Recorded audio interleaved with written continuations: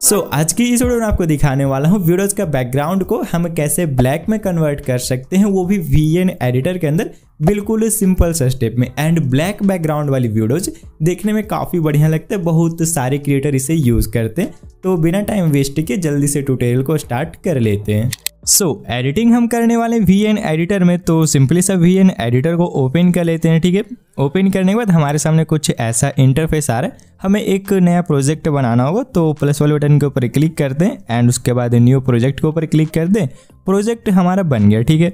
अब उसके बाद हमें यहाँ पे ब्लैक इमेज की ज़रूरत पड़ने वाली।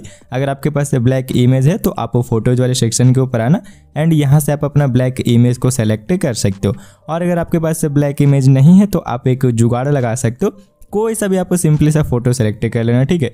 जैसे कि मैंने ये वाला फ़ोटो सेलेक्ट किया एंड इसे यहाँ पे ऐड कर लेंगे। ऐड हो गया। देन उसके बाद आपको वीडियो को पूरा लास्ट में आ जाना ठीक है? यहाँ पे आपको एक बड़ा सा प्लस का बटन देखने को मिल रहा होगा। इसके ऊपर आप क्लिक करोगे। देन मटेरियल के ऊपर आप क्लिक करोगे तो यहाँ पे आपको एक ब्लैक इमेज देखने को मिल जाएगा। इसके ऊपर सिंपली सा क्लिक कर देंगे और लो भाई ब्लैक इमेज ऐड हो गई, ठीक है? अब उसके बाद जो आपने ये फ़ोटो ऐड किया था, उसे हटा देंगे। और यहाँ पे एक लास्ट में ये इनपुट टाइटल करके आता है, उसे भी हटा देंगे।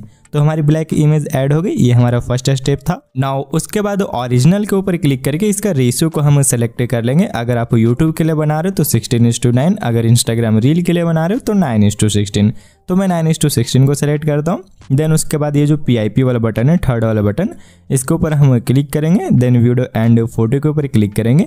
और यहाँ पे जस्ट एक ब्लैक स्क्रीन टेम्पलेट है। इस टेम्पलेट को आपको गेन कर लेना होगा। डिस्क्रिप्शन में ये वाला आपको वीडियो मिल जाएगा, ठीक है? आप वहाँ से इसे गेन कर सकते हो। देन सिंपली से इसके ऊपर क्लिक करेंगे।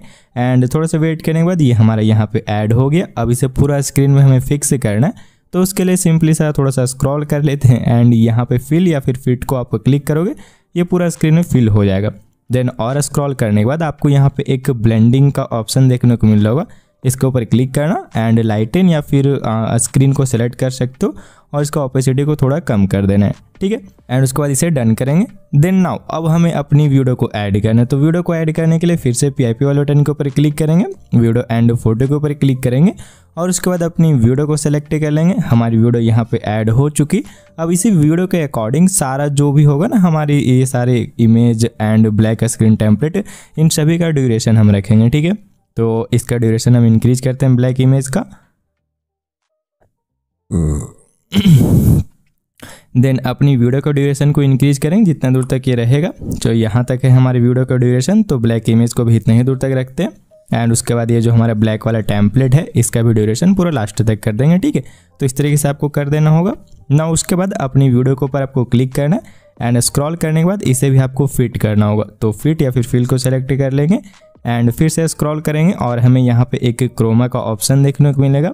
इसके ऊपर क्लिक करेंगे और ये जो ब्लैक वाला इमेज है सॉरी ब्लैक वाला कलर है, इसे सेलेक्ट करेंगे। स्पिल को आप यहाँ पे थोड़ा सा बढ़ा सकते हो इंटेंसिटी को बढ़ाना है तब तक, जब तक कि ये जो ग्रीन स्क्रीन है वो हमारा हट ना जाए एंड इसे सिंपली सा डन कर देंगे। ओके देन इसे आप प्ले करके देखो तो आप देख सकते हो वीडियो का जो बैकग्राउंड है वो रिमूव हो गया और साथ ही में वीडियो का बैकग्राउंड में एक अच्छा वाला इफ़ेक्ट भी चल रहा है। ओके अब इस इफ़ेक्ट को आप और बढ़िया बना सकते हो जस्ट इसके ऊपर क्लिक करना एंड ब्लेंडिंग वाले सेक्शन में आप इसे थोड़ा और कम कर दो ठीक है? सो so, इतना कम करके देखते कम में सही नहीं लग रहा है ना तो पूरा मैक्स कर देते हैं ठीक है? एंड उसके बाद इसका जो साइज़ होगा उसे थोड़ा इंक्रीज कर लेंगे एंड अपने अकॉर्डिंग एडजस्ट कर लेंगे जैसा आपको अच्छा लगेगा उस तरीके से एडजस्ट कर लेना एंड उसके बाद आप इसे प्ले करके देखोगे तो देख सकते हो पूरा वीडियो का जो बैकग्राउंड है वो हमारे ब्लैक में कन्वर्ट हो चुका है वो भी बहुत ही ईजी स्टेप में।